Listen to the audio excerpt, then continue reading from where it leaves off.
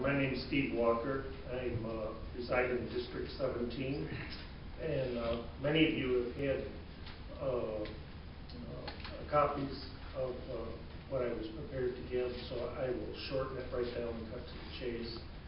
Uh, I'm the former state archivist of this state, and as state archivist, I was charged with protecting and making accessible the Constitution of the state of Idaho. I've been fortunate to handle each and every page of it, and have read it all. And I've looked at a document that I think is even more precious, and that's the draft Constitution. I've seen, uh, uh, it's all of its cross-outs, addition, pasted in change of language, and I got to see how carefully the final document was uh, crafted.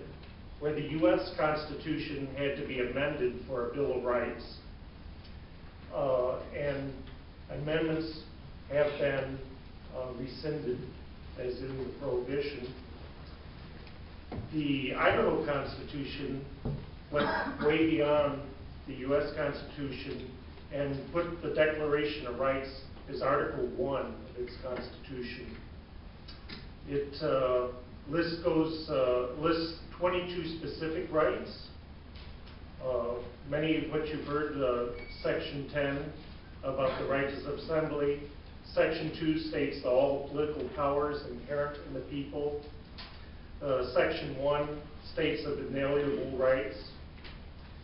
I'm fortunate I live in Boise and could come down here without too much di- difficulty to testify.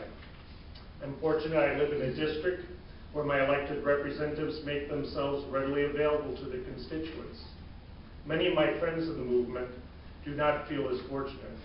They wish to peacefully assemble, consult for the common good, instruct the representa- representatives, and petition this legislature for the redress of grievances.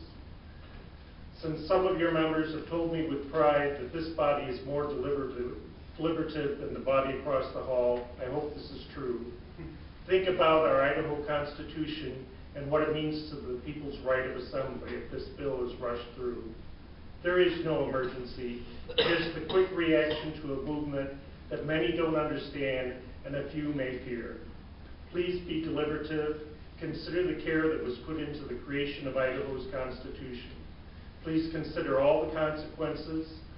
Uh, This bill was rushed into action and not well thought out. Please vote down this bill, or at least throw out the emergency provision and give the people a chance to be heard. Thank you for your Thank you time. very much. Uh, Monica Hopkins and then Jan Sylvester.